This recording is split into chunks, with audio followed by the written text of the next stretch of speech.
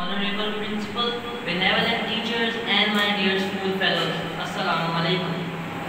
I am feeling privileged to extend my warm welcome to all presented here for the celebration of the Defense Day of Pakistan. मोहब्बत भी क्या अजीब चीज़ बनाई है यार अब एहसास मोहब्बत से तो खुद भी खुदा न बच सका तारीफ हुस्न यार So now I would like to invite Faziab Ahmed from Abu Bakr House to come and recite some verses of Holy Quran.